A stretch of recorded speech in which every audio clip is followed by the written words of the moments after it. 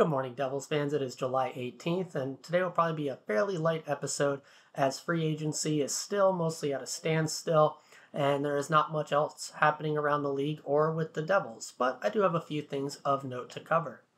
What might cause some movement uh, with free agency is the upcoming arbitration date deadlines. For those that aren't aware, players that filed for arbitration, basically negotiations with the team with a third party arbitrator, to come to a reasonable contract for them are coming up. That is going to be starting on July 20th, but there's three particular dates that really pertain to the Devils. First up uh, is probably the lesser of the three, and that's going to be Samsonov, whose arbitration date with the Maple Leafs is coming up on the 21st. Uh, reason I make this one of note is he is a goalie out there on the market. This might cause things to get rolling, at least in the goalie sector, a little bit. Uh, but he is obviously not one of the big names, not one of the ones that is rumored to be moved.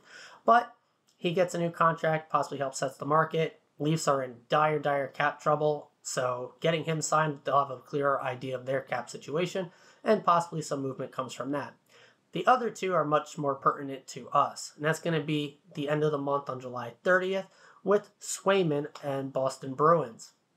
This is obviously a big name we've talked about a whole bunch of a goalie we are possibly interested in in acquiring from Boston due to their cap situation as well.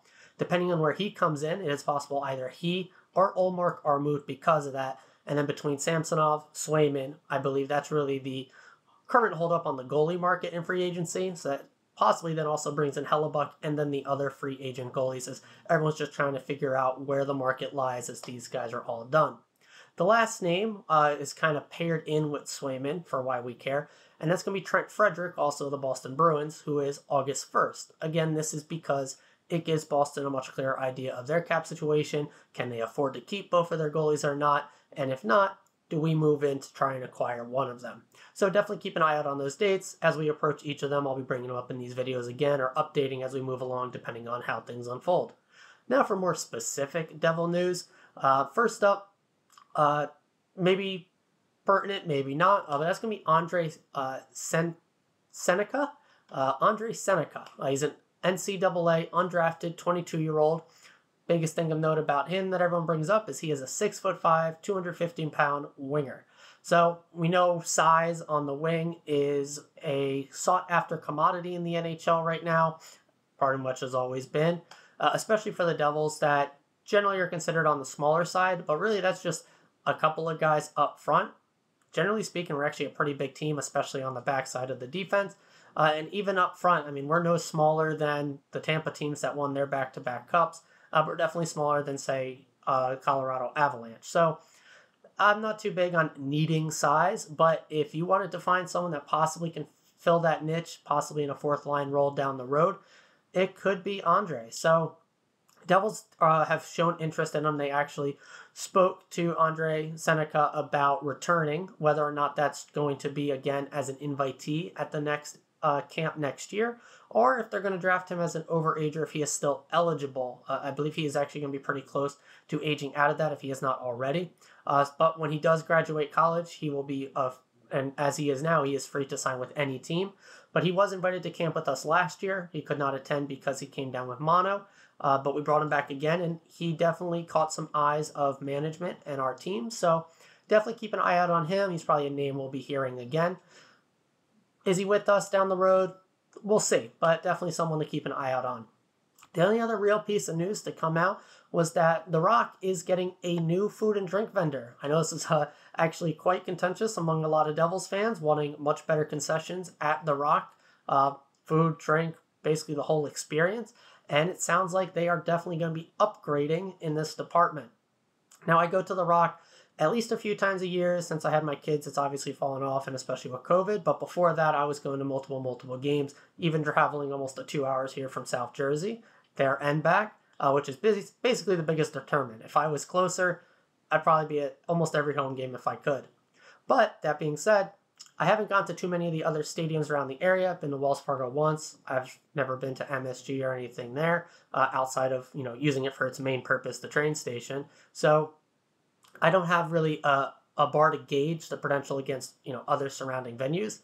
But from what I hear from people that do attend fairly often and go to other local spots, the food is considered poor. Uh, you know, I definitely, uh, just in my experience, I do wish there was a wider variety that was there. They were expanding in recent years, especially since COVID, which was nice, uh, especially with like uh, the player's choice food spots that were changing uh, over and over, which was really cool. I hope they do continue that.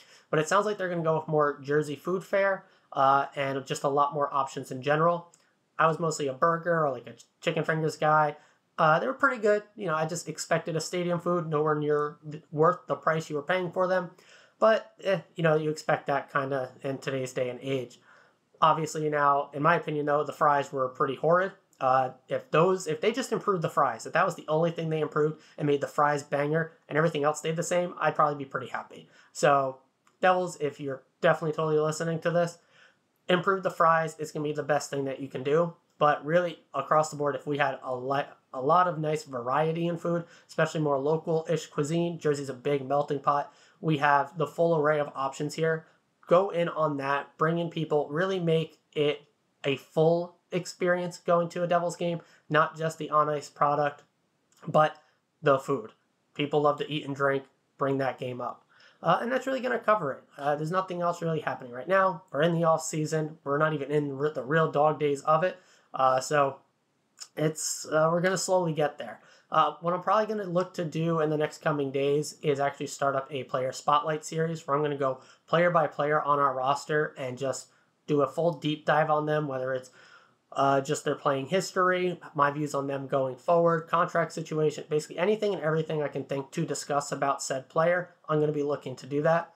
So if news stays as it is, especially the next couple days before we get into this arbitration dates, I'll start that up. If anything big comes up in the meantime, I will obviously cover that and then get back into the player series as we trudge along here in this long, long all season before uh, Devils hockey actually finally starts. Uh, so that's really going to do it. Like I said, light episode today. Uh, so I hope you all enjoy the rest of your wonderful, wonderful day here. Uh, and I will see you all tomorrow morning. Let's go, Devils.